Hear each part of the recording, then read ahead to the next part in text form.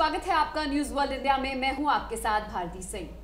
नमस्कार, मैं हूँ आपके साथ प्रद्युम्न शर्मा। नए साल का आज से आगाज़ हो गया है और ऐसे में नए साल का तोहफा भी भारत को मिल गया है, क्योंकि भारत यूएनएससी में अब शामिल हो गया है। ऐसे में ये अहम ज़िम्मेदारी दो साल तक के लिए भारत को दे दी गई है। विशेष मुद्दे यहाँ पर उठाए जाएँगे, क्योंकि यूएनएससी में शामिल होने के बाद भारत की जो स्थिति है, वो यहाँ पर दो साल में बहुत मज़बूत हो जाएगी और दो साल में किया गया काम भी भारत को आगे बहुत लाभ पहुँचाएगा। फ़िलहाल क्या है यूएनएससी में प्रवेश होने के बाद भारत की स्थिति, इस पर आज हम चर्चा करेंगे। भारत जिस तरीके से यूएनएससी में अब भारत प्रवेश कर रहा है और ऐसे में ये बड़ी उपलब्धि भारत की मानी जाएगी क्योंकि नए साल के आगाज़ में ये एक बड़ा तोहफा भी है। तो क्या कुछ फ़ायदे इसमें निकल सकते हैं? देखिए यूएनएससी में जैसे कि भारत जो है वो आज से अपनी अध्यक्षता एक तरीके से शुरू करेगा। ये पंद्रह देशों की जो है वो पूरी एक एक पंद्रह देश इसमें होते हैं जिसमें अस्थायी सदस्य जो पंद्रह देश होते हैं उनकी अध्यक्षता करने वाला ये अहम अहम बात है जो कि हर हर एक माह के लिए जो है वो अध्यक्षता शुरू होती है और दो हम्म। साल के लिए इसमें यूएनएससी में जो है वो भारत जो है शामिल हो रहा है अस्थायी सदस्य के रूप में। तो ये बहुत अहम बात है। इसमें फ़ायदे जो भारत को हैं वो हम्म। सिर्फ़ फ़ायदे ही फ़ायदे हैं इसमें नुकसान कुछ नहीं है। और फ़ायदे इस तरीके से भी देखे जा सकते हैं कि किस तरीके से हिंदुस्तान जो है वो अब अपने आप को बेहतर तरीके से रख पाएगा। हिंदुस्तान का जो रुतबा है जो। अपनी बात बात रखने का जो एक लेवल है वो हम्म। अलग तरीके से देखा जाएगा। पूरे दुनिया में जो है वो भारत की जो इमेज है वो बहुत ऊपर आ जाएगी। हम्म। और जैसे कि ये ये ये जो पूरा संगठन है ये सुरक्षा को लेकर अपनी चीज़ें रखता है सुरक्षा को सुनिश्चित करता है दुनिया भर में। ऐसे में भारत देश जिस तरीके से टेररिस्ट के अगेंस्ट टेररिज्म के अगेंस्ट जिस तरीके से अपनी पूरी बात रखता हुआ आया है हर बार अपनी चीज़ें रखता है ऐसे में बहुत अहम हो जाएगा कि भारत अब और पुरजोर तरीके से आतंकवाद के खिलाफ अपनी बात रख पाएगा। बिल्कुल भारत जिस तरीके से आप ज़िक्र कर रहे हैं कि यहाँ पर आतंकवाद को लेकर अहम मुद्दे भी लगातार उठाए जाते हैं और ऐसे कई देश हैं जो आतंकवाद को उसमें वहाँ पर पनपता है और भारत को काफ़ी नुकसान पहुँचाने की वो कोशिश लगातार ही करते रहते हैं। चाहे पाकिस्तान की बात करें या चीन की बात करें, लेकिन अभी आपको ये समझाते हैं कि यूएनएससी में प्रवेश होने के बाद भारत को क्या फ़ायदा मिलने वाला है और आखिर संयुक्त राष्ट्र सुरक्षा परिषद है क्या? इसमें छह प्रमुख हिस्से होते हैं और ऐसे में इसका मेन जो काम होता है वो ये होता है कि पूरे देश में सुख और चैन अमन बना रहे, जिसके चलते ये पूरी संस्था काम करती है। ऐसे में दो साल के लिए भारत को अहम ज़िम्मेदारी भी दे दी गई है। जब भारत में प्रवेश करेगा तो अहम मुद्दे लगातार लगातार ये उठाए जाएँगे कि आतंकवाद को कैसे रोकना है मनी लॉन्ड्रिंग कैसे रोकनी है कश्मीर का जो मुद्दा है ऐसे मुद्दों पर भारत को बहुत ज़्यादा मजबूती मिलने वाली है। अगर हम पाकिस्तान की बात करते हैं या चीन की बात करते हैं तो ये दो ऐसे देश हैं जो लगातार टेररिस्ट अपने यहाँ भेजते हैं चाहे पाकिस्तान की आमतौर पर बात कर लें। पाकिस्तान इस बात को नहीं मानता है लेकिन ये सब जानते हैं कि पाकिस्तान की तरफ़ से ऐसी गतिविधियाँ लगातार की जाती हैं। सीज फायर का भी उल्लंघन किया जाता है। खासकर कश्मीर मुद्दे की बात करते हैं तो कश्मीर मुद्दे पर लगातार कश्मीर को लेकर हिंसक झड़प भी देखने को मिली है। अब ऐसे में जब यूएनएससी में भारत प्रवेश कर चुका है तो मजबूती मिल पाएगी भारत को मजबूती मिल पाएगी बहुत पुरजोर तरीके से हम्म। मिल पाएगी और जिस तरीके से आपने सीज फायर का की भी बात की जिस तरीके से पाकिस्तान जो है वो सीज फायर का उल्लंघन हर वक्त करता रहता है ऐसे में मैं आपको बता दूँ कि पिछले साल यानी कि एक दिन पहले अगर हम बात करें तो पूरे 2020 में इक्यावन बार जो है वो पाकिस्तान जो कि अब तक का सबसे हम्म। ज़्यादा रिकॉर्ड किया गया आंकड़ा है इक्यावन बार जो है वो पाकिस्तान ने सीज फायर का उल्लंघन किया है बहुत ही निंदनीय है और यही सब चीज़ें देखते हुए यूएनएससी में हिंदुस्तान की जो वैल्यू है वो बहुत ज़्यादा बढ़ जाती है क्योंकि हिंदुस्तान हमेशा से टेररिज्म और पूरे टेररिज्म टेररिस्ट हर किसी का जो है विरोध करता हुआ है और चाइना की अगर हम बात जिस तरीके से कर रहे थे प्रद्युम तो चाइना जो है वो एक ऐसा देश है जो कि पाकिस्तान का सपोर्ट करता है। पाकिस्तान जब उनसे हथियार खरीदता है तो चाइना पूरी तरीके से उनका सपोर्ट करता है। पहले जब चाइना हिंद और चाइना जो है वो रशिया से अपने अपने हथियार जो है वो लेता है। हम्म। अब रशिया से हिंदुस्तान पहले अपने हथियार लेता था और आपको बता दें कि बीच में जब कुछ परेशानी शुरू हुई, उसके बाद ताइवान से हिंदुस्तान ने जो है वो अपने हथियार लेने शुरू किए। तो बहुत सारी ग्रजेज हैं। बहुत सारी परेशानियाँ हैं बहुत सारे जो है शिकवे हैं मुझे लगता है चाइना को हिंदुस्तान से जिसके चलते जो है वो हिंदुस्तान का पहले भी विरोध किया था यूएनएससी में चाइना ने और आज भी जो है विरोध करने की कोशिश ज़रूर करेगा। लेकिन विरोध करने से अब कोई फ़ायदा नहीं क्योंकि हिंदुस्तान को जितने वोट चाहिए थे उससे पचास उससे और पचास ज़्यादा जो है वो वोट हिंदुस्तान को मिले हैं यूएनएससी में शामिल होने के लिए। और आज से हिंदुस्तान जो है वो यूएनएससी में शामिल हो जाएगा और करीब दो साल के लिए हिंदुस्तान वहाँ का सदस्य रहेगा जिसकी जो जिसकी जो वैल्यू है वो अपने आप में बहुत ज़्यादा है और जिसके जो फ़ायदे हैं, वो भारत को बहुत अच्छे से होने वाले हैं।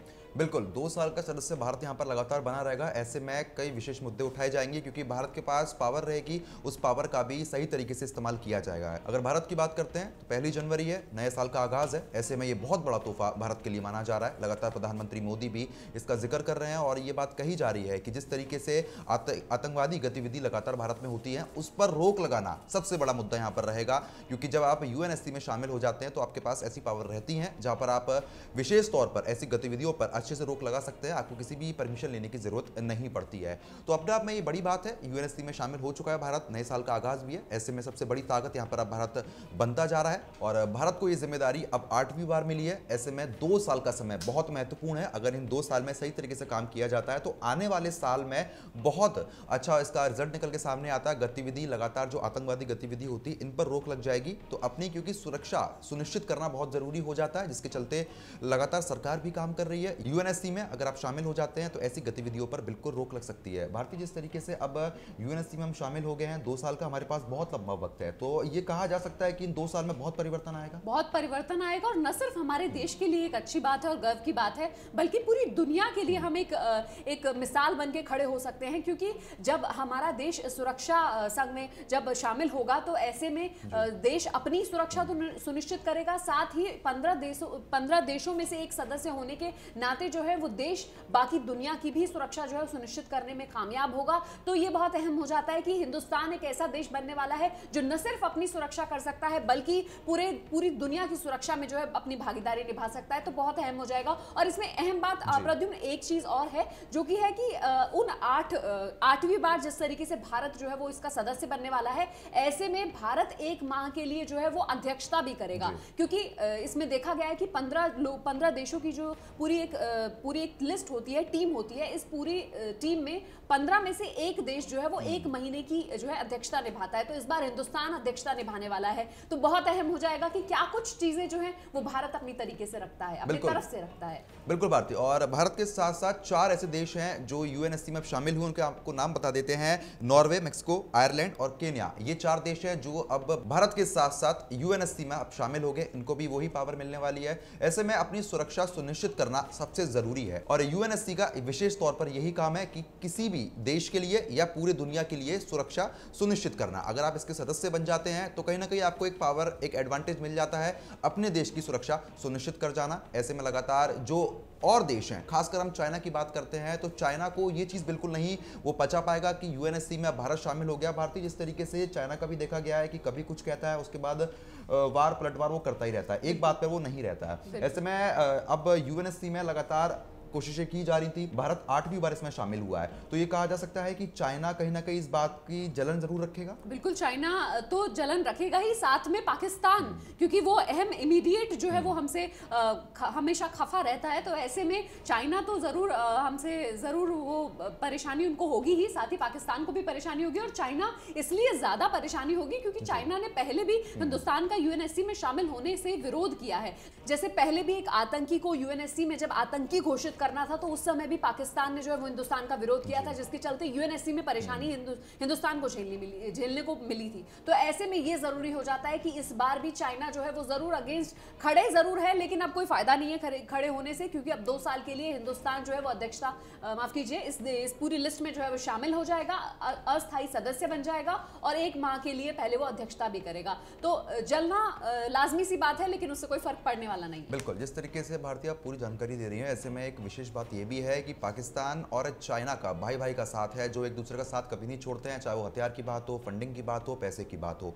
और ये बात किसी से नहीं छुपी है कि पाकिस्तान से आतंकवादी आते हैं, हिंदुस्तान में ऐसी गतिविधि करने की पूरी कोशिश करते हैं, लेकिन हमारी सेना उनको रोकने का पूरा प्रयास भी करती है और उनको मार भी गिराया जाता है। लेकिन अब दो साल के लिए ऐसी गतिविधि पर बिल्कुल रोक लगने वाली है, क्योंकि दो साल तक तो इनकी हिम्मत नहीं पड़ेगी कि चाइना से या फिर पाकिस्तान से ऐसी कोई फंडिंग की जा सके या आतंकवादी यहाँ पर भेजे जा सके। तो कहीं ना कहीं फ़र्क तो बहुत बड़ा बड़ा आने वाला है और नए साल पर बहुत बड़ा तोहफा भी माना जा रहा है। यूएनएससी में अगर शामिल आप हो जाते हैं तो कहीं ना कहीं बहुत बड़ी एक सक्सेसफुल अचीवमेंट आपके लिए हो जाता है। ऐसे में ये देखने वाली बात ज़रूर हो जाएगी कि इन दो साल में यूएनएससी में शामिल होने के बाद भारतीय किस तरीके से भारत काम करता है। बिल्कुल, क्या काम करता है ये देखने वाली बात होगी। जो स्थायी सदस्य हैं, यानी कि अगर हम यूएस की बात करें यूके की बात करें फ्रांस की बात फ्रांस की बात करें रशिया की बात करें तो ये चारों जो स्थायी सदस्य हैं, उनका क्या कुछ, किस तरीके से ये अपनी बात रखते हैं? और फिर अस्थायी सदस्य, यानी कि जो पंद्रह देश हैं जिसमें भारत भी शामिल हो जाएगा। ऐसे में ये भी अहम हो जाएगा कि क्या कुछ फैसले जो है वो भारत करता है या किस तरीके से अपनी बात जो है वो यूएनएससी में रखता है, जिससे कि तमाम जो देश हैं जिनकी नज़र जो है वो भारत के ऊपर रहेगी, यूएनएससी पर रहेगी तो ऐसे में भारत की जो दावेदारी होगी, भारत जिस तरीके से अपनी बात रखेगा ये अपने आप में भारत की जो इमेज है वो सामने रखेगा तो बहुत अहम हो जाएगा जिस तरीके से वो अपनी बात रखेगा। बिल्कुल, बात तो यहाँ पर रखी जाएगी, लेकिन जो विशेष मुद्दे रहेंगे वो कश्मीर उठाया जाएगा, आतंकवाद उठाया जाएगा, आतंकवादी की फंडिंग कौन करता है? ऐसे मुद्दों पर विशेष ध्यान भी दिया जाएगा, क्योंकि सुरक्षा सुनिश्चित करने में सबसे बड़ा जो रोल प्ले करेंगी वो यूएनएससी की पावर करने वाली हैं, जो हिंदुस्तान को मिलने वाली है। जिस तरीके से आप बता रही हैं कि एक महीना अध्यक्षता भी भारत करने वाला है, पंद्रह और देश इसमें शामिल होने वाले हैं, शामिल हैं इसमें। ऐसे में चाइना और पाकिस्तान की नज़र भी बनी हुई है, लेकिन यूएनएससी में वो शामिल नहीं हो पाते हैं, क्योंकि उनकी जिस तरीके से हरकतें रहती हैं तो ऐसे में यूएनएससी उनको शामिल नहीं करेगा। और खास तौर पर पाकिस्तान की बात करते हैं, इमरान खान की बात करते हैं तो लगातार वो इस चीज़ को नकारते हुए आ रहे हैं कि हमारी तरफ़ से ऐसी कोई गतिविधि नहीं की जाती है लेकिन जिस तरीके से आपने बताया कि इक्यावन बार सीज फायर का उल्लंघन हुआ है तो अपने आप में बहुत बड़ी बातें हो जाती हैं लेकिन अब दो साल के लिए इन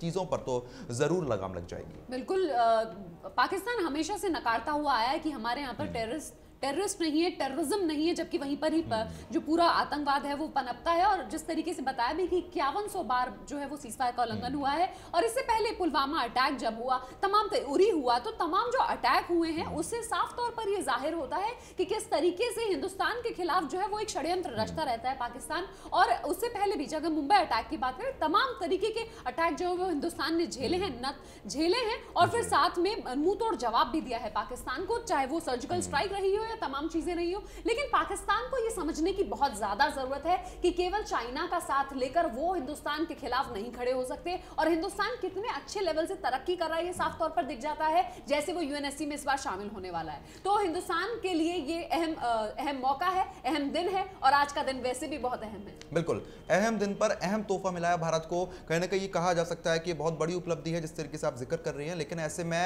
अब जिस तरीके से आपने ज़िक्र भी किया कि लगातार हमले होते थे भारत पे वो हमलों पर ज़रूर रोक लगने वाली है क्योंकि यूएनएससी में शामिल होने के बाद हर देश जो इसमें शामिल है उसको विशेष ताकतें मिलती है विशेष पावर मिलती है तो ऐसे में कहीं ना कहीं चाइना और पाकिस्तान आपकी जो नापाक हरकतें वो करते हैं उस पर रोक लगने वाली है बिल्कुल। ये तो साफ़ तौर पर कहा जा सकता है। बिल्कुल कहा जा सकता है और जिस तरीके से डोकलाम की बात भी जब हम करते हैं तो चाइना का जो जो एक लंबे समय से सीमा विवाद हमारे साथ चल रहा है काफ़ी लंबा वक्त जो है वो छह आठ महीने का वक्त जो है वो गुजर चुका है तो ऐसे में उनके ऊपर भी एक प्रेशर ज़रूर बनेगा। और अगर हम बात करें पाकिस्तान की तो पाकिस्तान तो हमेशा नकारता हुआ है अपने आतंकवाद को लेकर भी नकारता हुआ है। तो दोनों देशों और हालाँकि प्रद्युम एक चीज़ और हम देख सकते हैं इसमें कि जो पाकिस्तान है हम कह सकते हैं कि शायद वो अपनी हरकतों पे लगाम लगाए लेकिन पाकिस्तान और चाइना दोनों भाई भाई हैं और दोनों दोनों की ही जो दोनों ही जिस तरीके से सोचते हैं अपने काम करते हैं मुझे नहीं लगता कि वो लोग इतनी आसानी से मानने वाले हैं क्योंकि बेशक हिंदुस्तान जो है वो यूएनएससी में शामिल हो जाएगा एक डर एक दबाव ज़रूर रहेगा। लेकिन क्योंकि पा, पाकिस्तान और चाइना इनकी हमने शुरू से ही रणनीति देखी है शुरू से ही हिंदुस्तान के खिलाफ ये हमेशा आक्रामक रहते हैं तो ये बहुत अहम हो जाएगा कि किस हद तक जो है वो एक अंकुश लगाया जाएगा इनकी हरकतों पर। बिल्कुल, अंकुश तो यहाँ पर लग जाएगा, जिस तरीके से आप ज़िक्र भी कर रहे हैं कि ये दोनों भाई नहीं मानते हैं, लेकिन जब आप यूएनएससी में शामिल हो जाते हैं तो कहीं ना कहीं उनको मानना तो पड़ जाएगा, क्योंकि भारत मुँह तोड़ जवाब पहले भी देता हुआ आया है, लेकिन अब शामिल होने के बाद तो ऐसा मुँह तोड़ जवाब दिया जाएगा कि पाकिस्तान शायद उसको झेल भी ना पाए। फ़िलहाल जिस तरीके से आप तक पूरी जानकारी पहुँचा रहे थे, ऐसे में नए साल का आगाज़ है और ऐसे में बहुत बड़ा तोहफा ये भारत को अब मिल चुका है। फ़िलहाल के लिए इस खास पेशकश में इतना ही। जुड़े रहिए न्यूज़ वर्ल्ड इंडिया के साथ। धन्यवाद।